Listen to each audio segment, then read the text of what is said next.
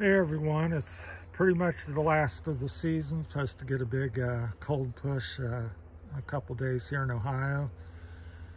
And snow and zero and 50 mile an hour winds. So the last of the green grass for a week or two at least. So I thought I'd uh, strike up a little conversation here about my, uh, specifically about my Stihl B BR800X trying to get a trying to get more of a not where I tell you so much what I think although I have done that in videos and I may uh, do a little bit in this but trying to get a uh, conversation going with you guys where you share your opinions and reviews and uh, bad or good about this let's keep it about the Stihl here. I've made several videos about the Echo and Stihl and both of them and all my blowers but we'll keep this one about the Stihl. Now, I like it. I think it's, uh, the Stihls are very comfortable. The straps, uh, the way the chute moves back and forth. Uh, I think the fit and finish on the Stihl is as good as any blower I've ever used. Of course, uh, everybody's uh, you know focused on the power, and it's very powerful. It's a very good blower, and I wouldn't hesitate to buy one. Um, in that regard. But if you want the most powerful, there's no doubt that the Echo 9010 is more powerful. But this uh, will go out and still get the job done.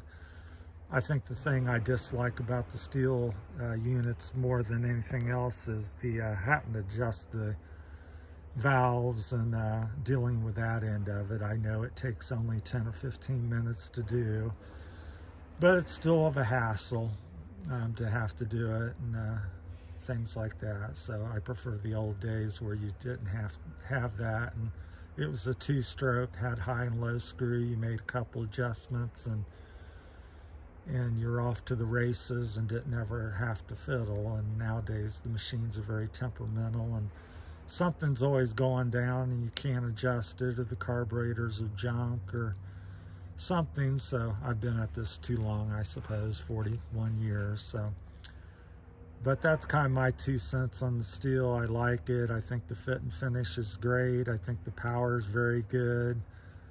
Uh, not so crazy about the valves. Um, think it's a good unit. I would not hesitate to buy another one. But I'm always, you know, again, this, I want to keep this where hopefully we can give some feedback to each other and uh, and also maybe Stihl might check it out. And uh, bought that at Centerville Gravely here in Ohio. I buy all all the different places but so just want to strike up a conversation. What do you think about the straps on it? What do you think about the power of the Stihl? what do you like uh, about the tubing or don't like uh, the, uh, the weight of it, the noise of it. Um,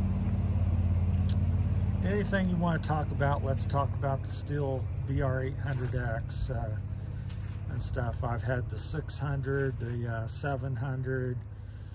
I've had uh, most of the Stihl blowers that they've made over the last 40 years. So uh, I think the Stihl 600 uh, BR 600 is still a great uh, blower and stuff, so especially for the homeowner.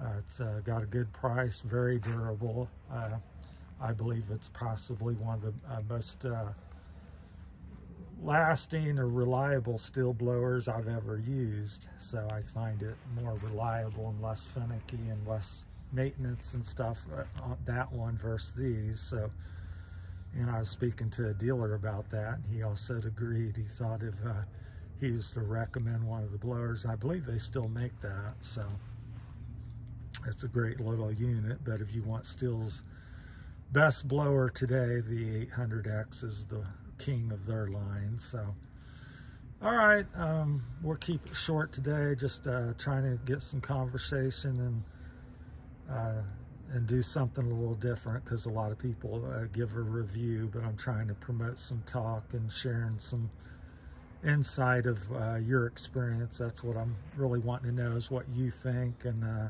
out there and uh, any tips and tricks or problems you've had or things you like or don't like.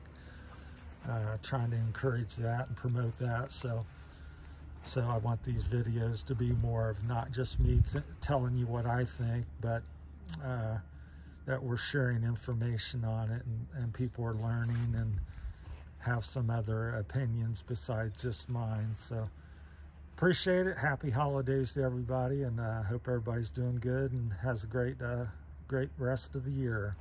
Thanks for watching.